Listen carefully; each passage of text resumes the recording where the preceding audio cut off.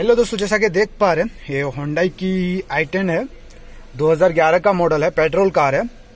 इसका compressor leakage हो गया है तो जिसमें से गैस निकल जाता था तो इस वजह से मैं इसका कंप्रेसर का ओरिंग चेंज करने वाला हूँ, यानी कंप्रेसर का ओरिंग लीक हो गया है। तो जिसमें से गैस निकल जाता था तो इस वजह से मैं इसका कंप्रेसर खोलने जा रहा हूँ।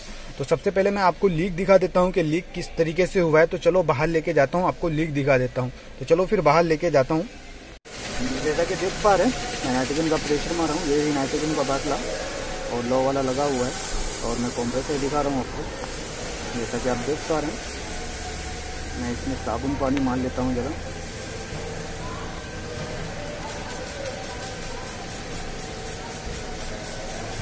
जैसा कि देख पा रहे हो कंप्रेसर अपने ऊपर से साबुन पानी मार रहा हूँ। जैसा कि देख पा रहे बुरबुरे आ रहे हैं। देख पा रहे हैं आप?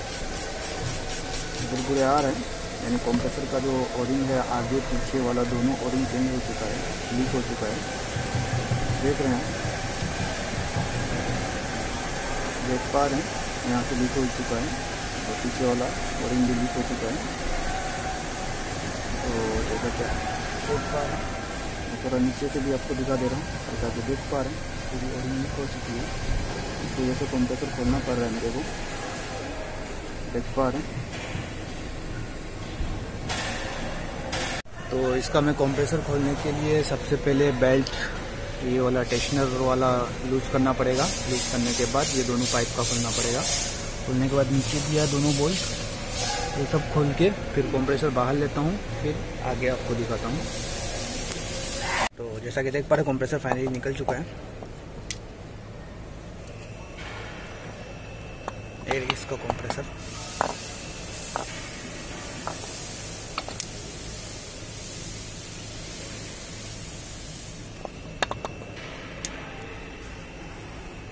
तो चलो फिर मैं इसका क्लच पुली कॉइल खोलता हूँ, फिर बाद में आपको दिखाता हूँ। तो फाइनली जैसा कि आप देख पा रहे हैं कंप्रेसर का इन सब चेंज कर दिया हूँ मैं।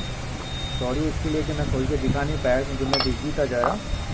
तो कोई और बना लिया था कंप्रेसर का ओरिंग चेंज कर दिया इसकी वजह से मैं इस वीडियो बना नहीं पाया था। तो जैसा कि आप देख पा रहे हैं, पूरी तरीके से ये वाली ओरिंग मैं चेंज कर चुका हूँ। मैंने नहीं, किसी और ने चेंज किया। तो जैसा कि आप देख पा रहे हैं पूरी तरीके से फिट हो चुकी है कंप्रेसर मैंने इसको ऑलरेडी बाहर लीक टेस्ट कर लिया है फिर भी एक बार वो गाड़ी में फिट करके। चलो मैं फिटिंग करके आगे दिखाता हूँ। तो जैसा कि आप देख पा रहे हैं पाइप वगैरह मैं फिट कर चुका हूँ सॉरी कॉम्प्रेसर फिट कर दिया हूँ। उसका बोल्ट वगैरह लगा दिया हूँ फिर मेरे को पाइप वगैरह लगाना बाकी है। जैसा कि आप देख पा रहे हैं पूरी पाइप कॉम्प्रेसर फिट हो चुकी है। तो चलो फिर मैं पाइप लगा के आगे आपको दिखाता हूँ। तो जैसा कि देख पा रहे हैं आप मैं पाइप वगैरह सब फिट कर दिया हूँ। जैसा कि आप देख पा रहे हैं, सब फिट हो चुका है। तो चलो फिर मैं इसमें नाइट्रोजन का प्रेशर मार के आगे आपको दिखा तो जैसा कि आप देख पा रहे हैं फोर्स पाइप लगा हुआ है लो एडेप्टर लगा हुआ है। और इसमें मैं नाइट्रोजन का प्रेशर मारा हुआ है, तीन सौ का। ये रही नाइट्रोजन का सिलेंडर और ये रही अपना कंप्रेसर तो इसके ऊपर मैं फिर पानी मार रहा हूँ, जैसा कि आप देख पा रहे हैं। कहीं से भी लीकेज नहीं बता रहा है। देख पा रहे हैं आप। तो पानी मार रहा हूँ। कहीं से भी लीकेज नीचे से भी देख लीजिए, कहीं से लीकेज नहीं है। कहीं से भी कुछ भी नहीं बता रहा है। एक भी बुरबुरे नहीं आ रहे हैं, जैसा कि आप देख पा रहे हैं। प्रॉपर तरीके से फिट हो चुका है। ओरिंग वगैरह सब। ऊपर से भी देख लीजिए आप और एक बार, जैसा कि देख पा रहे हैं। कहीं से भी लीकेज नहीं है। देख पा रहे हैं, कहीं से भी लीकेज नहीं है। प्रॉपर तरीके से पूरा फिट हो चुका है। जैसा कि आप देख पा रहे हैं प्रॉपर तरीके से फिट हो चुका है।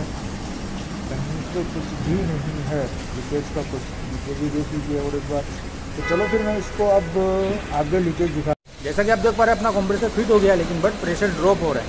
तो ड्रॉप हो रहा है तो लीक कहाँ से हुआ है जैसा कि देख लीजिए आप, यहाँ से लीक हुआ है। सक्सन वाली पाइप में से लीक हो रहा है। जहाँ पे ज्वाइन है। दो पाइप आता है इसमें। दो ज्वाइन आता है सक्सन वाले में। तो बीच वाला ज्वाइन लीक हो रहा है, जैसा कि आप देख पा रहे हैं। वहाँ का ओरिंग जो है, यहाँ का लीक हो गया है। इस वजह से इसका ओरिंग रिप्लेस करना पड़ेगा मेरे को। तो जैसा कि आप देख पा रहे हैं, क्लियर पूरा दिख रहा है। ओडिंग लीक हो चुका है। इधर से भी आप देख लीजिए। देख पा रहे हैं कितना बुरबुड़े आ रहा है। तो ये वाली पाइप का मैं ओडिंग रिप्लेस करता हूँ। रिप्लेस करने जा रहा हूँ। सक्शन वाली पाइप का। चलो फिर मैं रिप्लेस करके आगे दिखाता हूँ। जैसा कि देख पा रहे हैं, ये वाली ओरिंग लीक हो चुकी है। तो मैं इसमें दूसरा नया ओरिंग डालूँगा। जैसा कि देख पा रहे हैं, ये फ्रेश ओरिंग है, नया ओडिंग इसमें डाल के फिर आगे आपको दिखाता हूँ। तो जैसा कि देख पा रहे हैं, मैं ओडिंग रिप्लेस कर चुका हूँ और इसमें नाइट्रोजन का प्रेशर भी मैं मार दिया हूँ तीन सौ का। फिर चलो फिर लीक टेस्ट करके दिखाता हूँ आपको। तो मैं इसमें सोप पानी ज़रा मारता हूँ, जैसा कि आप देख पा रहे हैं सोप पानी मार रहा हूँ। पहले कितना बुरबुरे आ रहा था, अभी कुछ भी नहीं आ रहा है, जैसा कि देख पा रहे हैं, यानी ओडिंग डाल के लीकेज बंद हो चुका है, जैसा कि आप देख पा रहे हैं। वैसे भी आपको दिखा दे रहा हूँ। जैसा कि देख रहे हैं कहीं से भी अभी लीकेज नहीं हो रहा है। प्रॉपर हो चुका। ओरिंग डाल के लीकेज बंद हो चुका है। तो चलो फिर मैं इसको प्रेशर छोड़ के वैक्यूम में लगा तो चलो फिर मैं इसका प्रेशर छोड़ देता हूँ। ज़ीरो ज़ीरो कर देता हूँ। प्रेशर छोड़ने के बाद फिर मैं वैक्यूम में लगा दूँगा इसको।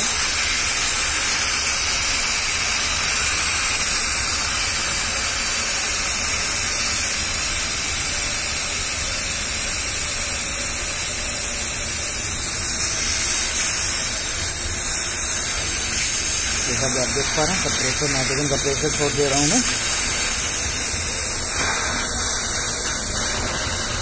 देख पा रहे हैं आप। ज़ीरो ज़ीरो हो गया। तो प्रेशर जैसा देख देखें ज़ीरो ज़ीरो हो चुका है। चलो फिर मैं इसको वैक्यूम में ले लेता हूँ।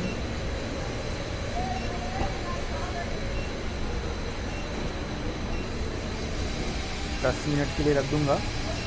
तो चलो फिर दस मिनट बाद मैं आपसे मिलता हूँ, आप मेरे सुनिए चलिए फिर।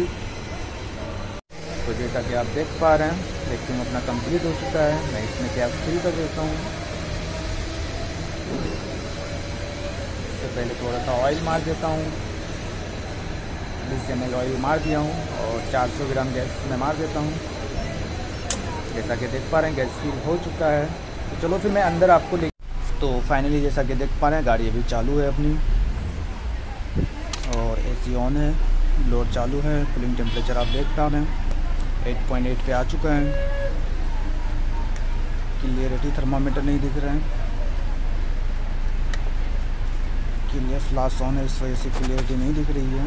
तो थोड़ा हाथ को मैं ये कर लेता हूँ, जैसा कि देख पा रहे हैं एट पे आ चुका है।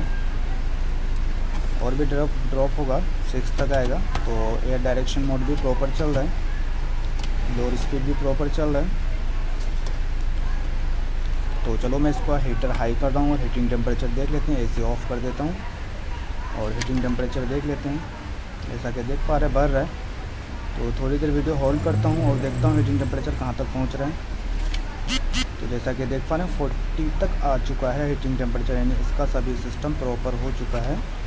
तो ये गाड़ी के ऊपर आप कोई पूरा डिटेल्स अगर जानना चाहते हैं तो इसके डिस्क्रिप्शन बॉक्स में जाइएगा। वहाँ जा कर के आपको ये गाड़ी का हर एक चीज़ का डिटेल्स आपको मिल जाएगा। तो चलो फिर, जब तक के लिए बाय बाय टेक केयर, अल्लाह हाफिज़।